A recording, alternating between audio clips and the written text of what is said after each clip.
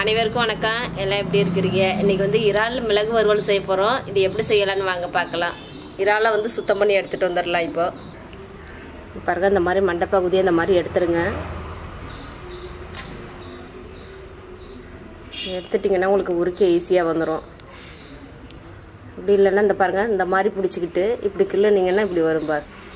பாருங்கள் இந்த வந்துடுச்சு பாருங்கள் பாருங்கள் இறாலில் உள்ள தோலெல்லாம் உரிச்சாச்சு. இதில் பார்த்தீங்கன்னா குடல் இருக்கும். இந்த முதுகு பகுதியில் வந்து குடல் இருக்கும். இது அந்த மாதிரி கத்தியெல்லாம் நல்லா அப்படி கிழிச்சு விட்ருங்க இதாக இருக்குது பாருங்கள் இதான் அதோட குடல். இது இப்படி கையில் எடுத்திங்கன்னா வந்துடும் இந்த வரத்தை பாருங்கள் இதே மாதிரி எல்லா இறால்லையும் எடுத்துடலாம்.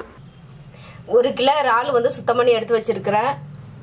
காரத்துக்கு வந்து ஒரு நாலஞ்சு வரமிளகாய் கலருக்காக காஷ்மீர் சில்லி ஒரு பத்து எடுத்துருக்கிறேன் ஒரு பெரிய வெங்காயம் புடிசா கட் பண்ணி வச்சிருக்கிறேன் இஞ்சி பூண்டு பேஸ்ட் இந்த அளவுக்கு அரைச்சி எடுத்து வச்சிருக்கிறேன் ஒரு ஸ்பூன் சோம்பு ஒரு ஸ்பூன் ஜீரகம் ரெண்டு ஸ்பூன் வந்து மிளகு அரை ஸ்பூன் வந்து மஞ்சத்தூள். இதுதான் இதுக்கு தேவையான பொருள். இந்த மசாலாவெல்லாம் பார்த்தீங்கன்னா நம்ம வறுத்து அரைக்க போறோம். இப்போ நம்ம அடுப்பு பற்ற வச்சு வறுத்துக்கலாம் எல்லா மசாலாவும். சட்டி நல்லா சூடாகட்டும். சூடாகணும்னு எண்ணெய் ஊற்றிக்கலாம் பாருங்க எண்ணெய் சட்டி நல்லா சூடாயிடுச்சு. இப்போ முன்னாடி மிளகா வறுத்துக்கலாம் நம்ம. நீங்கள் ஃபஸ்ட்டு மிளகா வறுத்துட்டிங்கன்னா உங்களுக்கு வந்து நல்லா அரைப்படும். அதுக்காக முன்னாடி மிளகா வறுத்துடலாம். இது வந்து காஷ்மீரி மிளகா. இது வந்து கலருக்காக தான் நான் அதனால தான் நிறையா போட்டிருக்குறேன். இந்த காஷ்மீரி மிளகாவில் பார்த்தீங்கன்னா காரமே இருக்காது. அது வந்து கலருக்காக தான் போடுறது. அதனால அதை அதிகமாகவே எடுத்துக்கலாம். கை சூடு பொறுக்கிற அளவுக்கு வறுத்தா போதும் மிளகாவை. பாருங்க நல்லா சவந்து வந்துடுச்சு. இப்போ தனியாக வேறு பிளேட்லுக்கு மாற்றிடலாம் சோம்பு சீரகம் மிளகு வந்து ரெண்டு ஸ்பூன் எடுத்துருக்கிறேன். இதையும் சேர்த்து வறுத்துக்கலாம். அடுப்பை வந்து சிம்மிலே வச்சுடுங்க. ரொம்ப வறுத்துக்கிட்டிங்கன்னா உங்களுக்கு வந்து ஒரு மாதிரி கருவுன ஆடை வந்துடும் வாசம் வர அளவுக்கு வறுத்து எடுத்துக்கோங்க. பாருங்க கொட்டியாச்சு இது ரெண்டையும். பவுட்ரு மாதிரி அரைச்சி எடுத்துகிட்டு வந்துடலாம் மிக்சியில் மசாலா வந்து இந்த மாதிரி அரைச்சி எடுத்துக்கோங்க. இப்போ அரைச்சாச்சு. இப்போ வந்து நம்ம கிரேவி ரெடி பண்ணிடலாம். சட்டி நல்லா சூடாயிடுச்சு இப்போ நல்லெண்ணெய் ஊற்றிக்கலாம் எண்ணெய் நல்லா சூடாயிடுச்சு. ஒரு கால் ஸ்பூன் வந்து சோம்பு போட்டுருங்க பாருங்கள் சோம்பு நல்லா பொரிஞ்சிடுச்சு. ஒரு மூணு குத்து கருவேப்பிலை எடுத்துங்க இதையும் நம்ம இதில் சேர்த்துக்கலாம். இது கூட வந்து ஒரு பெரிய வெங்காயம் நறுக்கி வச்சிருக்கிறேன். இதையும் இதில் சேர்த்துக்கலாம். வெங்காயம் நல்லா வதங்குறதுக்காக உப்பு சேர்த்துக்குங்க. அப்போ தான் உங்களுக்கு வந்து சீக்கிரமாக வெங்காயம் வந்து வதங்கி வரும். இப்போ வெங்காயம் வதங்கட்டும் மூடி வச்சிடலாம். இறால் வந்து சுத்தம் பண்ணி வச்சுருக்குறோம். இது கூட வந்து அரை ஸ்பூன் மஞ்சத்தூளை போட்டு கலந்துக்கலாம். பாருங்கள் நல்லா மஞ்சத்தூள் போட்டு கலந்தாச்சு. வெங்காயம் நல்லா வதங்கி வந்துருச்சு இஞ்சி பூண்டு பேஸ்ட்டு இதையும் நம்ம இதில் சேர்த்துக்கலாம். ஒரு கா டம்ளர் வந்து தண்ணி ஊற்றி நல்லா இந்த மாதிரி மசாலாவை வந்து நல்லா இந்த மாதிரி கலந்துங்க.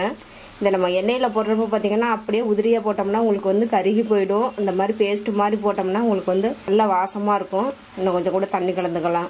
இப்போ பாருங்கள் நல்லா கலந்தாச்சு. இஞ்சி பூண்டு பேஸ்ட்டோட பச்சை வாசனை எல்லாம் போச்சு. இப்போ நம்ம இதையும் மசாலாவையும் சேர்த்துக்கலாம் இது கூட.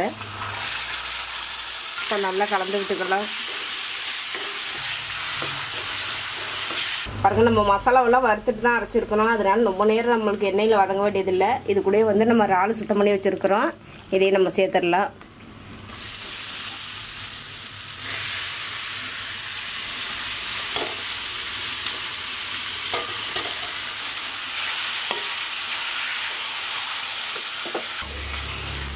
நம்ம ஏற்கனவே உப்பு சேர்த்துருக்குறோம். அதெல்லாம் உப்பெல்லாம் எதுவும் போடாதீங்க. பார்த்துக்கிட்டு உப்பு போட்டுக்கலாம். இப்போ நம்ம மூடி வச்சிடலாம். இதுக்கு தண்ணியெல்லாம் எதுவுமே ஊற்றாதீங்க இறாலில் பார்த்தீங்கன்னா தண்ணி வந்து ஊறும். அதனால் தண்ணியெல்லாம் எதுவுமே ஊற்ற வேண்டியதில் நம்ம மூடி வச்சிடலாம் இப்போ. பாருங்க மூடி போட்டு மூடி வந்து அடுப்பை பார்த்தீங்கன்னா சிம்மிலே வச்சு விடுங்க. அப்போ தான் உங்களுக்கு வந்து ராலில் உள்ள தண்ணியெல்லாம் மேலே வரும். நம்ம ஃபுல்லாக வச்சுட்டோம்னா கீழே அடி பிடிச்சிடும். மசாலாவெல்லாம் அடுப்பை சிம்மிலே வச்சுக்கோங்க. ஓப்பன் பண்ணிடலாம். பாருங்கள் எப்படி பாருங்கள் தண்ணியெல்லாம் எப்படி வருது பாருங்கள் இறாலுக்கு பார்த்தீங்கன்னா தண்ணி நிறையா ஊற்றி வேக வச்சிங்கன்னா லப்பர் மாதிரி ஆகிடும் சாப்பிட முடியாது. அதோட தண்ணியிலே நம்ம வேக வைக்கணும். அப்போ தான் நம்மளுக்கு வந்து நல்லா சாஃப்டாக இருக்கும் சாப்பிட்றதுக்கு.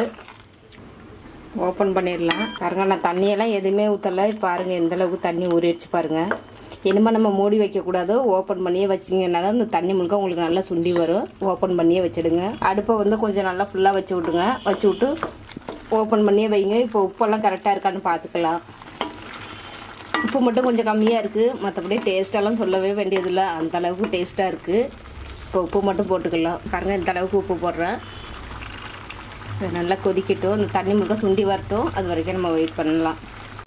இறால் வறுவல் ரெடி ஆகிடுச்சு பாருங்கள் இது பார்த்தீங்கன்னா ஒரு பத்து நிமிஷம் வெந்தால் போதும். ரொம்ப நேரம் வேக வைக்க வேண்டியதில்லை. ரொம்ப நேரம் வேக வச்சிங்கன்னாலும் சவு மாதிரி ஆகிடும் சாப்பிட முடியாது. இறால் வறுவல் ரெடி ஆயிடுச்சு. இப்போ நம்ம அடுப்பு ஆஃப் பண்ணிட்டு மல்லித்தலை கொஞ்சமாக இது மேலே தூவிட்டுங்க வெள்ளை சாப்பாட்டுக்கு தயிர் சாதத்துக்கு ரசத்துக்கு மோருக்கு எல்லாத்துக்குமே தொட்டு சாப்பிடலாம். நல்ல ஒரு டேஸ்ட்டாக இருக்கும். இதுக்கு பார்த்தீங்கன்னா எந்த ஒரு குழம்பும் தேவையில்லை. அப்படியே வெறும் சாதத்து கூட நம்ம சாப்பிட்டுக்கலாம். அந்த அளவுக்கு டேஸ்ட்டாக இருக்கும். இங்கே பாருங்க இறால் வறுவல் ரெடி ஆயிடுச்சு. இது வந்து செம்ம டேஸ்ட்டாக இருக்குது கண்டிப்பாக நீங்களும் இந்த மாதிரி செஞ்சு சாப்பிட்டு பாருங்கள் பார்த்துட்டு எப்படி இருக்குதுன்னு கமெண்டில் சொல்லுங்கள் இந்த வீடியோ பிடிச்சிருந்துச்சுன்னா ஃப்ரெண்ட்ஸ்க்கெல்லாம் ஷேர் பண்ணி விடுங்க. இது வரைக்கும் நம்ம சேனலுக்கு சப்ஸ்கிரைப் பண்ணாதவங்க மறக்காமல் சப்ஸ்கிரைப் பண்ணிடுங்க மறக்காமல் பக்கத்தில் உள்ள பெல் பட்டன் வந்து கிளிக் பண்ணிடுங்க